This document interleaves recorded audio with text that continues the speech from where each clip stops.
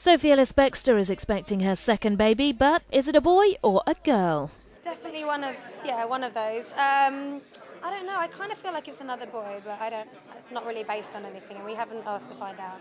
I love having a son, so I kind of feel I'd be on familiar territory with that. Impending motherhood isn't interfering with her music career, though. I'm, I'm just finishing off my fourth album at the moment, uh, so that'll come out when I when I go back to work later in the year. Sort of August, September, I'll go back to work. So that's the plan. What can we expect from that? Anything different?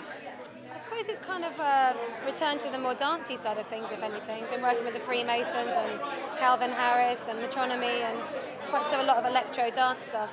So, could a collaboration with her husband's band The Feeling now be on the cards? um, only in the privacy of our own home, I think, yeah.